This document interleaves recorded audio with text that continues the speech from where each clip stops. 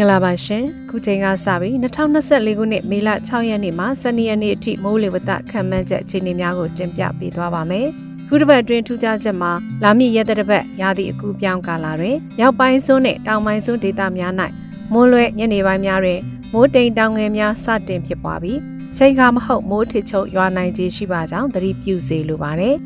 ယခုနှစ်မုတ်တုံလေးဦးဝင်ရောက်နေရာယူလာနိုင်မှုမှာယခေနှစ်များနဲ့မတူဘဲ ကွဲပြားသောလက္ခဏာများပြသလျက်ရှိပြီးမုတ်တုံရာသီလေးအပေါ်မူတည်၍ရာသီဥတုပြောင်းလဲမှု၏တက်ရောက်မှုပုံမထင်ရှားလာစေသည်ကိုတွေ့လာရပါတယ်။နမူနာအားဖြင့်အိန္ဒိယနောက်မြောက်ဘက်တွင်အပူကြောင့်လေပြားကျဆင်းသောလေပြားနယ်ဆယ်ဟစ်လိုနေရာယူမှုနှေကွေခြင်းမထင်ရှားခြင်းအလားတူမြန်မာနိုင်ငံအလဲပိုင်းတွင်အဆိုပါလေပြားနယ်ဆယ်သည်လည်းအာမကောင်းခြင်း မုတ်တုံအကျိုးမိုးများမှာမြန်မာနိုင်ငံမြောက်ဘက်ပိုင်း၌သာပိုရွာနေခြင်းမုတ်တုံလေးကိုတည်ဆောင်လာပြီးအီကွေတာကိုဖြတ်ကျော်တိုက်ခတ်သည့်အရှိတောင်ကုန်းသည်လေး South East Trade ဝင်မှာ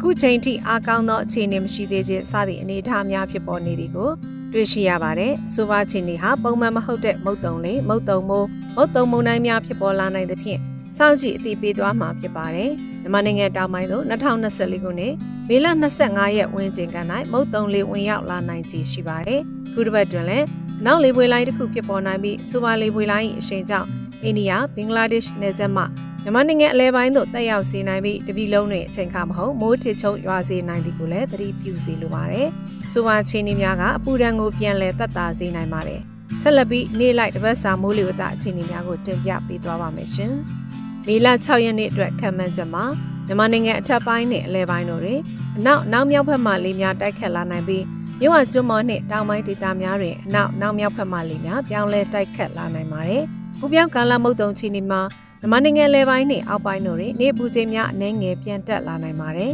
။ဆိုပါဒေသများတွင်နေ့စဉ်အမြင့်ဆုံးပူချိန်မှာ39-38ဒီဂရီစင်တီဂရိတ်ဝန်းကျင်ရှိနိုင်ပါတယ်။ဘင်္ဂလားပင်လယ်အော်ချီနေမှာကပလီပင်လယ်ပြင်တွင်တိမ်အသင့်အတင့်ဖြစ်ထွန်းနိုင်ပြီးကြံဘင်္ဂလားပင်လယ်အော်တွင်တိမ်ထူထပ်နိုင်ပါတယ်။မိုးချီနေမှာစကိုင်းတိုင်းနှင့်ကချင်ပြည်နယ်တို့တွင်နေရာကျဲကျဲ ရခိုင်ပြည်နယ်ချင်းပြည်နယ်ရှမ်းပြည်နယ်မြောက်ပိုင်းမန္တလေးတိုင်းမွန်ပြည်နယ်နဲ့တနင်္သာရီတိုင်းတို့တွင်နေရာကွက်ကျမိုးထစ်ချုံရွာနိုင်ပြီးကျန်ဒေသများတွင်တိမ်အသင့်အတင့်ဖြစ်ထွန်းနိုင်ပါတယ်။ပြည်လယ်ပြင်ချင်းဒီမှာပခိုင်ကဲရုံးရဘက်တွင်အနောက်နောက်တောင်ဘက်မှလေသည်တနအီ10မိုင်မှ15မိုင်ခန့်တိုက်ခတ်နိုင်ပြီးလှိုင်းအသင့်အတင့်ရှိနိုင်ပါတယ်။မြို့ဝကျွန်းမော်မုတ်တမကွေနဲ့တနင်္သာရီကမ်းရိုးတန်းဘက်တွင်တောင်အရှိတောင်ဘက်မှလေသည်တနင်္ဂနွေ9မိုင်မှ10မိုင်ခန့်တိုက်ခတ်နိုင်ပြီးလှိုင်းအနှဲငယ်ရှိနိုင်ပါတယ်ရှင်။ မေလ9ရက်နေ့အတွက်ခံမှန်းချက်မှာမြန်မာနိုင်ငံအထက်ပိုင်းနဲ့အလဲပိုင်းတို့တွင်အနောက်နောက်မြောက်ဘက်မှလေများတိုက်ခတ်လာနိုင်ပြီးမြို့ဝကျွန်းမော်နဲ့တောင်ပိုင်းဒေသများတွင်အနောက်နောက်မြောက်ဘက်မှလေများပြောင်းလဲတိုက်ခတ်လာနိုင်ပါတယ်။ကုပြောင်းကာလမုတ်တုံအခြေအနေမှာမြန်မာနိုင်ငံအလဲပိုင်းနဲ့အောက်ပိုင်းတို့တွင်နေပူချိန်များနည်းငယ်ပြန်ကျဆင်းလာနိုင်ပါတယ်။ဆိုမာဒေသများတွင်နေ့စဉ်အမြင့်ဆုံးပူချိန်မှာ 35-36ဒီဂရီစင်တီဂရိတ်ဝန်းကျင်ရှိနိုင်ပါတယ်။ဘင်္ဂလားပင်လယ်ချီနေမှာကပလီပင်လယ်ပြင်တွင်တိတ်အသင့်အတင့်ဖြစ်ထွန်းနိုင်ပြီးကြံဘင်္ဂလားပင်လယ်အတွင်တိမ်ထူထပ်နိုင်ပါတယ်။မိုးချီနေမှာစကိုင်းတိုင်းနှင့်ကချင်ပြည်နယ်တို့တွင်နေရာကျဲကျဲနဲ့ကြံပြည်နယ်နဲ့တိုင်းတို့တွင်နေရာကွက်ကြားမိုးထစ်ချုံရွာနိုင်ပါတယ်။ပင်လယ်ပြင်ချီနေမှာပခိုင်ကဲရဘတ်တွင်အနောက်နောက်တောင်ဘက်မှလေသည်တနအီ10မိုင်မှ15မိုင်ခန့်တိုက်ခတ်နိုင်ပြီးလှိုင်းအသင့်အတင့်ရှိနိုင်ပါတယ်။ မြို့ဝကျွမမုတ်တမခွေနဲ့တနင်္သာရီကဲရုံးရက်ဘက်တွင်ရှေ့တောင်ဘက်မှလေသည်တနိုင်9မိုင်မှ10မိုင်ခန့်တိုက်ခတ်နိုင်ပြီးလိုက်အနှဲငယ်ရှိနိုင်ပါတယ်ရှင်။မေလ10ရက်နေ့အတွက်ခံမှန်းချက်မှာမြန်မာနိုင်ငံအထက်ပိုင်းနဲ့အလဲပိုင်းတို့တွင်နောက်မြောက်ဘက်မှလေများတိုက်ခတ်လာနိုင်ပြီးမြို့ဝကျွမနှင့်တောင်ပိုင်းဒေသများတွင်နောက်နောက်မြောက်ဘက်မှလေများပြောင်းလဲတိုက်ခတ်လာနိုင်ပါတယ်။ကုပြောင်းကာလမုတ်တုံချင်းတွေမှာမြန်မာနိုင်ငံအလဲပိုင်းနဲ့အောက်ပိုင်းတို့တွင်နေပူချိန်များအနှဲငယ်ပြန်ကျဆင်းလာနိုင်ပါတယ်။ ဆိုပါဒေသများတွင်နေ့စဉ်အမြင့်ဆုံးပူချိန်မှာ35-36စင်တီဂရိတ်ဝန်းကျင်ရှိနိုင်ပါတယ်။ပင်လယ်အော်ချီနေမှာကပ်ပလီပင်လယ်ပြင်တွင်တိမ်အသင့်အင့်ဖြစ်ထွန်းနိုင်ပြီးကြံဘင်္ဂလားပင်လယ်အော်တွင်တိမ်ထူထပ်နိုင်ပါတယ်။မိုးချီနေမှာစကိုင်းတိုင်းကချင်ပြည်နယ်နှင့်တနင်္သာရီတိုင်းတို့တွင်နေရာကျဲကျဲနှင့်ကြံပြည်နယ်နှင့်တိုင်းတို့တွင်နေရာကွက်ကြားမိုးထစ်ချုံရွာနိုင်ပါတယ်။ပင်လယ်ပြင်အခြေအနေမှာပခိုင်ကဲရိုးတဲ့ဘက်တွင်အနောက်နောက်တောင်ဘက်မှလေသည် တနင်္လာ10မိုင်မှ15မိုင်ခန့်တိုက်ခတ်နိုင်ပြီးလိုင်းအသင့်အင့်ရှိနိုင်ပါတယ်။မြို့ဝကျွန်းမော်မုတ်တမကွေနဲ့တနင်္လာရီကမ်းရိုးတန်းဘက်တွင်ရှစ်တောင်ဘက်မှလေသည်တနင်္လာ9မိုင်မှ10မိုင်ခန့်တိုက်ခတ်နိုင်ပြီးလိုင်းအနှဲငယ်ရှိနိုင်ပါတယ်ရှင်။မေလ9ရက်နေ့အတွက်ခံမှန်းချက်မှာမြန်မာနိုင်ငံအထက်ပိုင်းနဲ့အလဲပိုင်းတို့တွင်အနောက်အနောက်မြောက်ဘက်မှလေများတိုက်ခတ်လာနိုင်ပြီးမြို့ဝကျွန်းမော်နှင့်တောင်ပိုင်းဒေသများတွင်အနောက်နောက်မြောက်ဘက်မှလေများပြောင်းလဲတိုက်ခတ်လာနိုင်ပါတယ်။ကုပြောင်းကာလမုတ်တုံချိန်တွေမှာ မြန်မာနိုင်ငံအလဲပိုင်းနဲ့အောက်ပိုင်းတို့တွင်နေပူချိန်များအနှဲငယ်ပြန်ကျဆင်းလာနိုင်ပါတယ်။ဆိုမာဒေတာများတွင်နေ့စဉ်အမြင့်ဆုံးပူချိန်မှာ35-36စင်တီဂရိတ်ဝန်းကျင်ရှိနိုင်ပါတယ်။ဘင်္ဂလားပင်လယ်အော်ချိန်တွေမှာ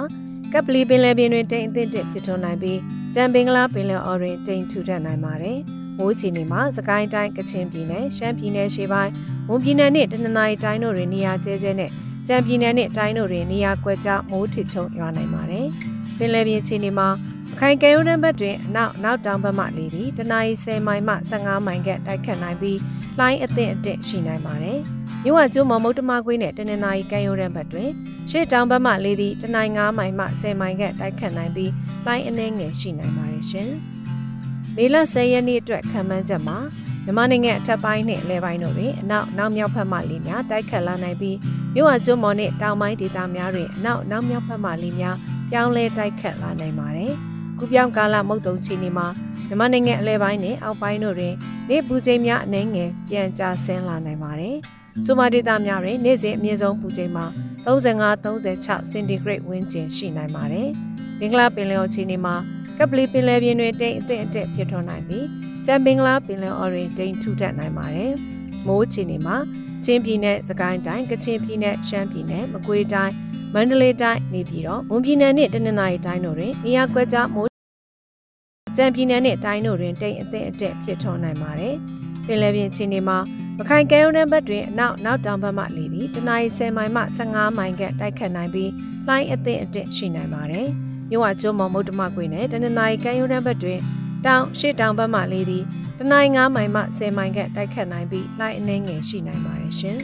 ။မေလ17ရက်နေ့အတွက်ခံမှန်းချက်မှာမြန်မာနိုင်ငံအထက်ပိုင်းနဲ့အလဲပိုင်းတို့တွင်အနောက်နောက်မြောက်ဘက်မှလေများတိုက်ခတ်လာနိုင်ပြီးမြို့ဝကျွန်းမော်နဲ့တောင်ပိုင်းဒေသများတွင်အနောက်နောက်မြောက်ဘက်မှလေများပြောင်းလဲတိုက်ခတ်လာနိုင်ပါတယ်။ကုပြောင်းကာလမုတ်တုံချီနေမှာမြန်မာနိုင်ငံအလဲပိုင်းနဲ့မြို့ဝကျွန်းမော်ဒေသများတို့တွင်နေပူချိန်များအနည်းငယ်ပြန်တက်လာနိုင်ပါတယ်။ဆိုပါဒေသများတွင်နေ့စဉ်အမြင့်ဆုံးပူချိန်မှာ 36-39စင်တီဂရိတ်ဝန်းကျင်ရှိနိုင်ပါတယ်။မင်္ဂလာပင်လယ်ချီနေမှာကပ်ပလီပင်လယ်ပြင်တွင်တိမ်အသင့်အတက်ဖြစ်ထွန်းနိုင်ပြီးကြံပင်္ဂလားပင်လယ်အော်တွင်တိမ်ထူထပ်နိုင်ပါတယ်။မိုးချီနေမှာမွန်ပြည်နယ်နဲ့တနင်္သာရီတိုင်းတို့တွင်နေရာကျဲကျဲနဲ့ချင်းပြည်နယ်၊စကိုင်းတိုင်းနဲ့ကချင်ပြည်နယ်တို့တွင်နေရာကွက်ကြားမိုးထစ်ချုံရွာနိုင်ပြီးကြံပြည်နယ်နဲ့တိုင်းတို့တွင်တိမ်အသင့်အတက်ဖြစ်ထွန်းနိုင်ပါတယ်။ပင်လယ်ပြင်ချီနေမှာပခိုင်ကဲရုံးတန်းဘက်တွင်